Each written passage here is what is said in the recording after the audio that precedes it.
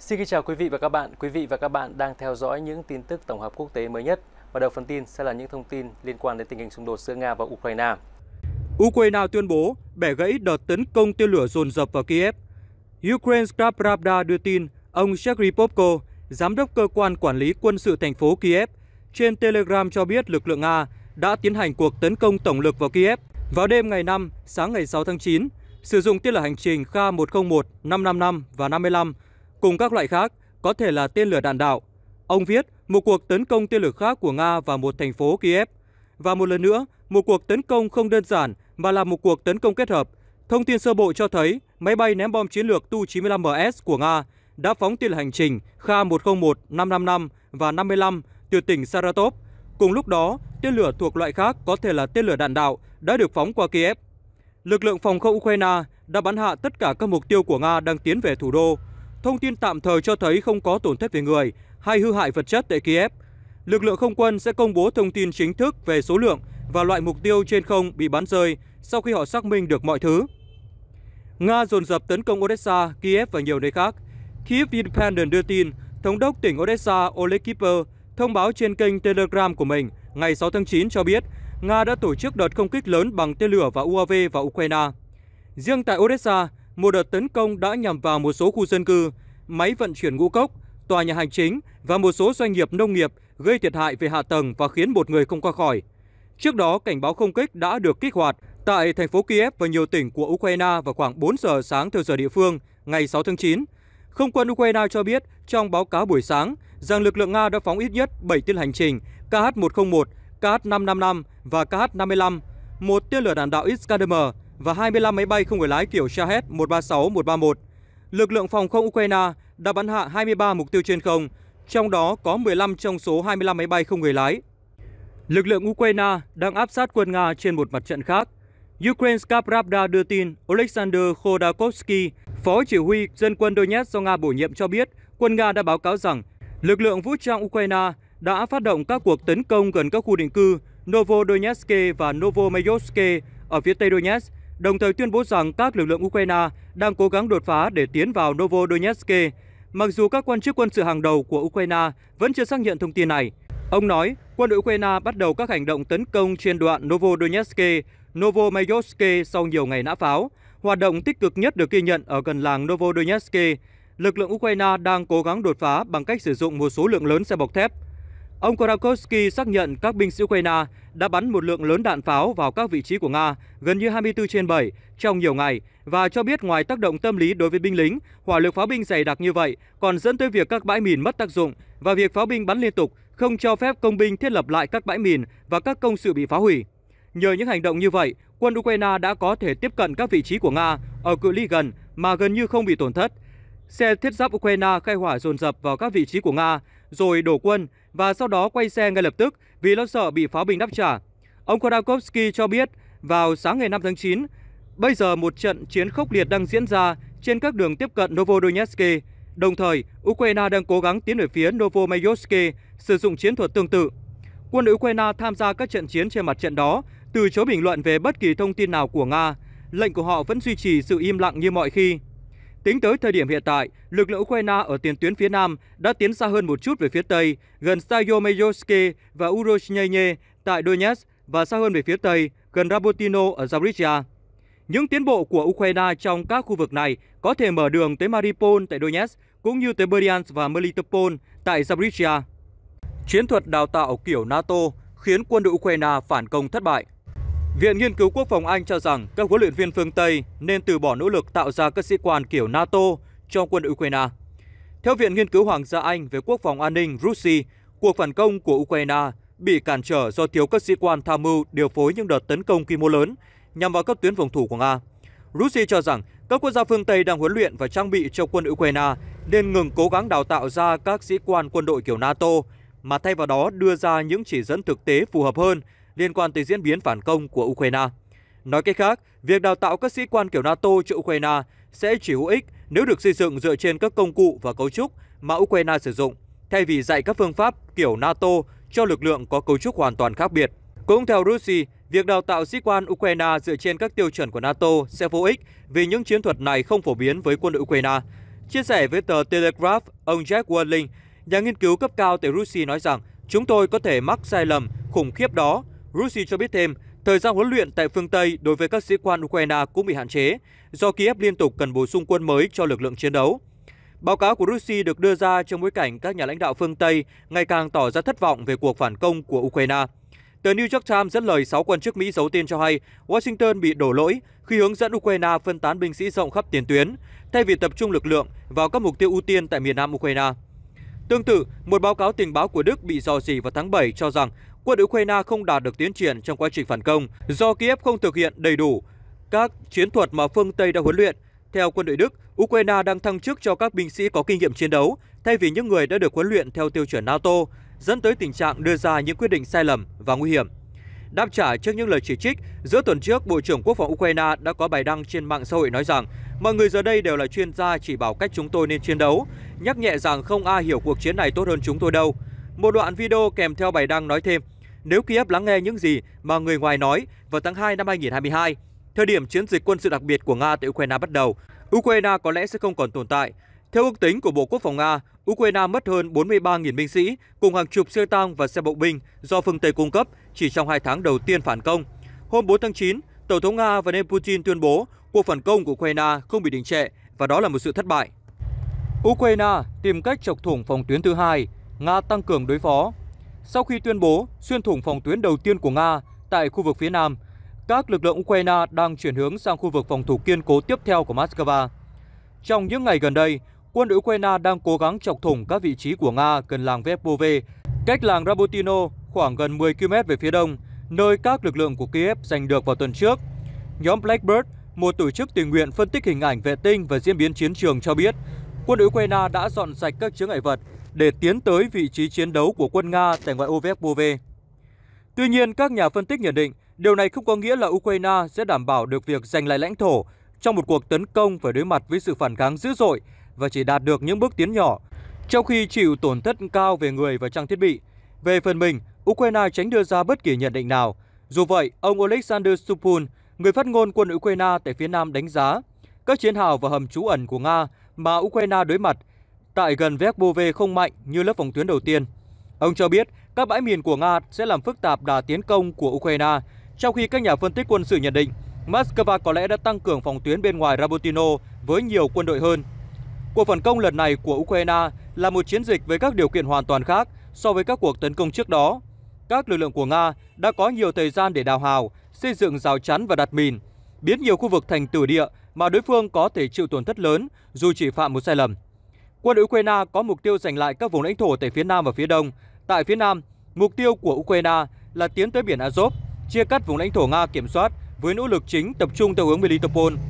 Việc giành lại Rabotino vào tuần trước là một thành quả đáng kể cho lực lượng Ukraine trong nỗ lực cắt đứt tuyến hậu cần của Nga tới Crimea. Dù vậy, các lực lượng của Kiev vẫn còn một chặng đường dài. Hiện nay, cuộc tiến công của họ từ Rabotino tại phía đông tới Verkbove có mục tiêu là tiếp tục phá vỡ các phòng tuyến của Nga. Hai nhà phân tích quân sự Michael Kaufman và Rob Lee cho hay, theo các nhà quan sát trên, mở rộng nỗ lực này là một việc quan trọng bởi cuộc tiến công hẹp có thể khiến lực lượng dễ tổn thương trước các cuộc phản công ở các sườn. Một khu vực rộng hơn sẽ cho phép các lực lượng của Ukraine triển khai nhiều trang thiết bị và binh lính hơn để hỗ trợ bước tiến công tại phía Nam. Một mục tiêu chiến lược trong cuộc tiến công này của Ukraine dường như là thành phố Tokmak, trung tâm đường bộ và đường sắt cách Rabotino 24 km về phía Nam. Để tới được thành phố này, các lực lượng của Ukraine phải xuyên thủng hoàn toàn phòng tuyến quanh Vepbove và sau đó xuyên thủng thêm các lớp tiếp theo. Điều đó báo trước cho một cuộc xung đột tiêu hao với nhịp độ chậm có thể kéo dài nhiều tháng và khiến hai bên tổn thất lớn. Ngày 5 tháng 9, Tổng thống Ukraine Volodymyr Zelensky cho biết ông đã thăm các lữ đoàn chiến đấu gần thành phố Bakhmut, khu vực Nga giành được vào mùa xuân sau gần một năm giao tranh. Kể từ đó, các binh lính Ukraine đã nỗ lực giành lại một số vùng lãnh thổ quanh thành phố này. Văn phòng của Tổng thống Ukraine Volodymyr Zelensky cho biết, nhà lãnh đạo Ukraine đã thảo luận về các vấn đề và nhu cầu với các đơn vị, trong đó có việc cung cấp đạn pháo và tên lửa phòng không. Ngày 4 tháng 9, ông Zelensky cho biết, việc hỗ trợ cho các binh lính và liên lạc với các chỉ huy lữ đoàn và tiểu đoàn là cực kỳ quan trọng. Đồng thời cho biết ông đã thăm 11 lữ đoàn ở Donetsk và Zaporizhia. Các chỉ huy của Ukraine cũng cho rằng nhu cầu UAV và các khí tài phòng không đang ngày càng gia tăng. Nhóm lính đánh thuê có thể khiến Nga thất thủ ở làng chiến lược. Thái độ không hài lòng của nhóm lính đánh thuê Rusik có liên kết với Wagner được cho là một trong những lý do khiến Nga mất làng chiến lược Jabotyno. Quân đội Ukraine ngày 28 tháng 8 tuyên bố kiểm soát hoàn toàn làng chiến lược Jabotino ở tỉnh Zaporizhia sau gần 3 tháng phản công. Đây được cho là thắng lợi quan trọng của Ukraine, mở đường cho Kiev tiếp tục tiến sâu hơn về phía nam, hướng tới mục tiêu cắt đứt hành lang trên bộ của Nga nối bán đảo Crimea với vùng Donbass và mở đường ra biển Azov. Ba ngày trước khi Nga thất thủ ở Jabotino, nhóm lính đánh thuê Rusik có liên kết với tập đoàn Wagner và được giao nhiệm vụ chiến đấu ở gần ngôi làng, đã đe dọa buông súng cho tới khi chính phủ Nga ngăn cản việc dẫn độ Ian Petrovsky, thủ lĩnh cấp cao của nhóm, từ Phần Lan sang Ukraine. Petrov, người có quốc tịch Nga và Na Uy, là đồng sáng lập nhóm Rusik năm 2014. Các tay súng nhóm này từng tham chiến ở vùng Donbass, miền đông Ukraine và có thời điểm là một nhà thầu phụ của Wagner. Petrovsky bị giới chức Phần Lan bắt hôm 20 tháng 7 tại sân bay Helsinki với lý do vi phạm quy định về thị thực. Ông bị Ukraine cáo buộc nhiều tội danh liên quan tới khủng bố và có nguy cơ phải ngồi tù 15 đến 20 năm nếu bị dẫn độ tới nước này. Petrovsky chưa được nhân viên lãnh sự hay luật sư nào của chính phủ Nga tới thăm. Ông ấy bị đe dọa dẫn độ tới Ukraine theo hình thức trực tiếp hoặc thông qua một nước thứ ba. Liên quan tới một vụ án hình sự không có thật, Rusik tuyên bố hôm 25 tháng 8. Rusik sẽ ngừng mọi hành động chiến đấu, nhóm này cho biết trên Telegram. Nếu đất nước không thể bảo vệ công dân của mình, thì tại sao công dân lại phải bảo vệ đất nước? Đây không phải lần đầu tiên Rusik tỏ thái độ không hài lòng với giới chức Nga. Trước đó, sau vụ rơi máy bay khiến trùm Wagner Yevgeny Prigozhin và các thủ lĩnh cấp cao của nhóm không qua khỏi, hôm 23 tháng 8, nhóm này cũng đăng tải thông điệp trên Telegram ngụ ý rằng Prigozhin nên hoàn tất vụ nổi loạn thay vì bỏ cuộc giữa chừng. Trung Wagner hồi tháng 6 đã dẫn theo hàng nghìn tay súng từ Ukraine về Nga nhằm đòi công lý sau khi cáo buộc Bộ Quốc phòng Nga không kích một doanh trại của lực lượng này, khiến nhiều người thiệt mạng. Sau 24 giờ căng thẳng, Prigozhin quyết định rút quân theo thỏa thuận đạt được dưới sự trung gian của Tổng thống Belarus Alexander Lukashenko. Hiện chưa rõ Rusik có ngừng chiến đấu tại làng Chabotino như lời đe dọa hay không.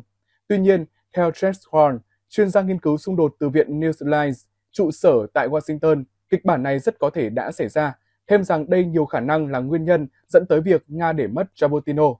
Viện Nghiên cứu Chiến tranh ISVK, trụ sở tại Washington cũng xác nhận Rusik đã chiến đấu ở ngoại vi làng Jabotino.